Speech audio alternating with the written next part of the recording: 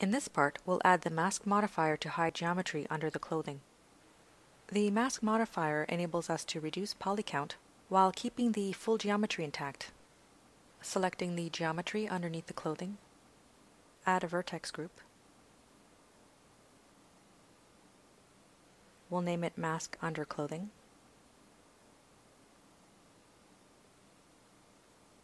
And assign.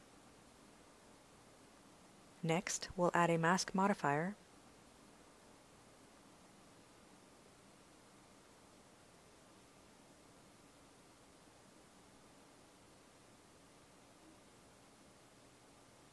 Selecting the mask underclothing vertex group, invert,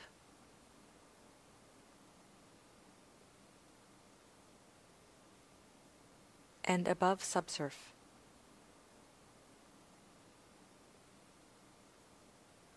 Since the masking tool works as though we deleted the selection, the outer edges will expand a bit.